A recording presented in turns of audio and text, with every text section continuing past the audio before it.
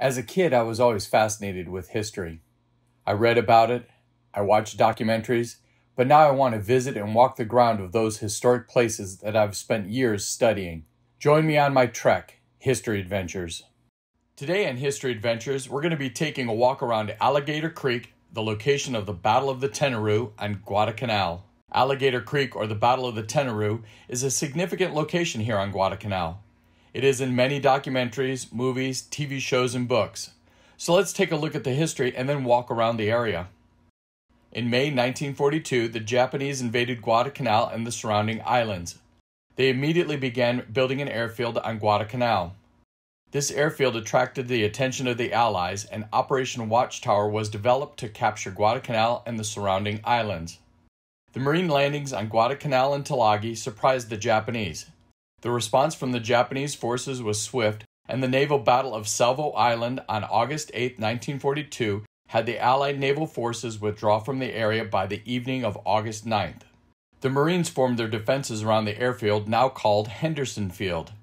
The Japanese believed that since the Allied shipping had withdrawn from the area, most of the ground forces had also withdrawn from Guadalcanal. The Japanese formulated a plan to land troops on Guadalcanal and retake the airfield. On August 19, 1942, 900 plus troops of the Japanese Ichiki detachment arrived on Guadalcanal. These were elite battle hardened troops with a history of battle victories. Their orders were to scout the Marine positions and wait for the remainder of the detachment to arrive, roughly 1,200 more troops. Ichiki, believing his troops can retake the airfield, began to move. Solomon Islanders and Coast Watchers spot the Japanese troops east of the Lunga Point perimeter. On August 19th, the Marines sent out a patrol to find and ambush the Japanese forward patrol. They kill all but five of the troops. The Marines find documents on one of the Japanese officers with detailed intelligence of the Marine positions around Lunga Point. There's also details of a much larger Japanese force on Guadalcanal.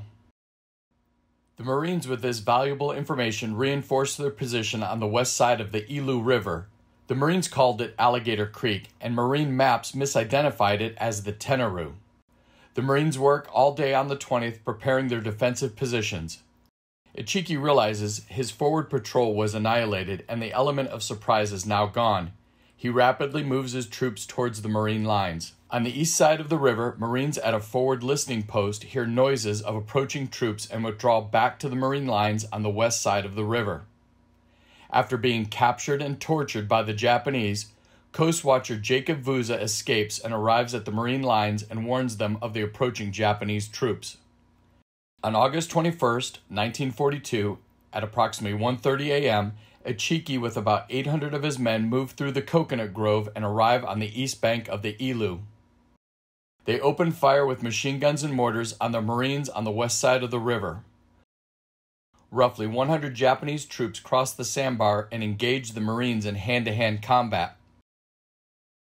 A company of Marines held in reserve now attacks, ending the first wave attack of the Japanese.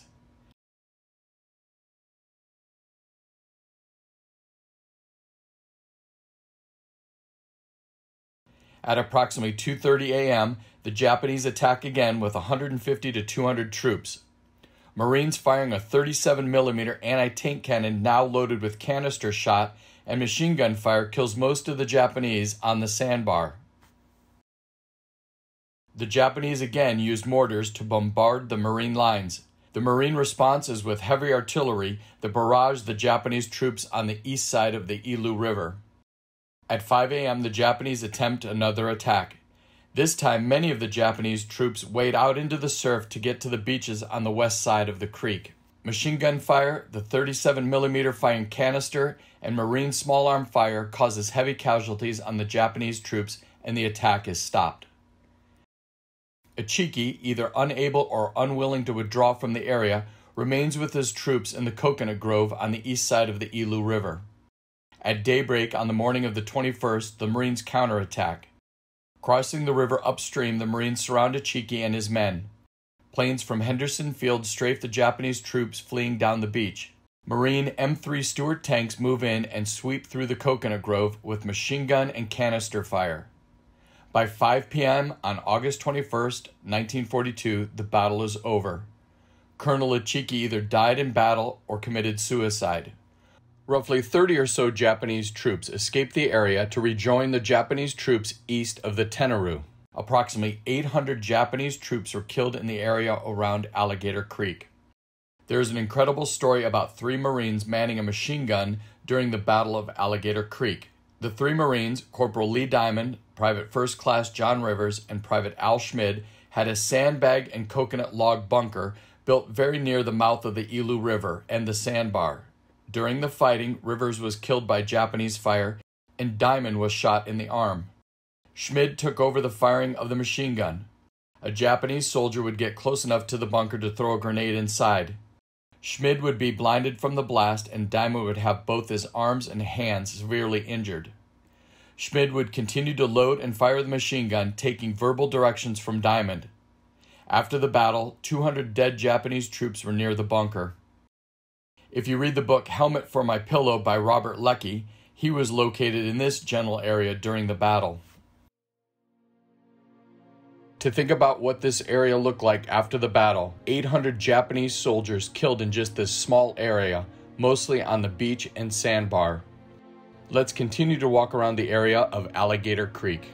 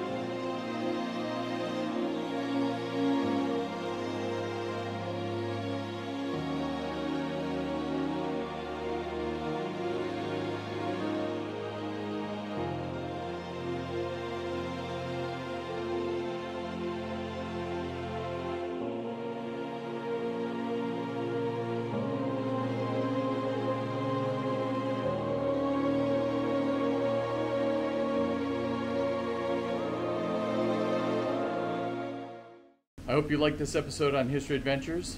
Please comment and like the video if you would. Please subscribe to our page, I truly appreciate it. And watch for more videos coming up from the Solomon Islands. Thanks a lot, and we'll see you in a couple days.